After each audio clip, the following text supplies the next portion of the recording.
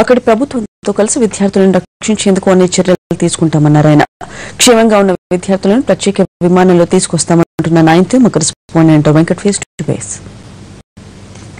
Hyderabad Kukatpally VNR Vignana Jyothi కాలేజీకి సంబంధించిన నలభై విద్యార్థులు హిమాచల్ ప్రదేశ్ వీరయాత్రకు వెళ్ళి అక్కడ ఇరవై నాలుగు మంది విద్యార్థులు మిస్ అయ్యారు. అందులో బియాస్ నదిలో కొట్టుకుపోయిన ఘటనకు సంబంధించి హోంమంత్రి ప్రస్తుతం హైదరాబాద్ నుంచి అక్కడ సహాయ చర్యల ఏర్పాట్లకు సంబంధించి పర్యవేక్షించేందుకు వెళ్ళడం జరుగుతుంది. ప్రస్తుతం అంతా హోంమంత్రి గారు ఉన్నారు నాయన నరసింహారెడ్డి గారు ఉన్నారు. ఆయన అడిగి తెలుసుకున్నారు ఎలాంటి సహాయక చర్యలు చేపడుతున్నారని సంబంధించి.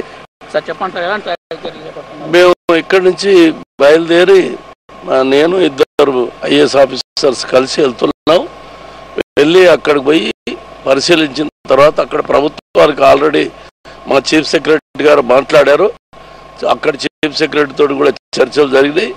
అక్కడ రిలీఫ్ ఏ వారాలు జరుగుతున్నాయి. అంతా పోయి చూసి రిలీఫ్ అయ్యి ఏమిటి ఎంతమంది గాయాలని ఏమైంది ఎంతమంది ఏమైంది జాగ్రత్త లేకుండా పోయినారు ఎంతమంది ఎంత విషయాలు తెలుసుకొని ఆడ నుంచి అవసరమైతే ఇక్కడ రాష్ట్ర ప్రభుత్వంతో మళ్ళీ సంప్రదించి అన్ని ఏర్పాటు చేసేదానికి వెళ్తున్నాం.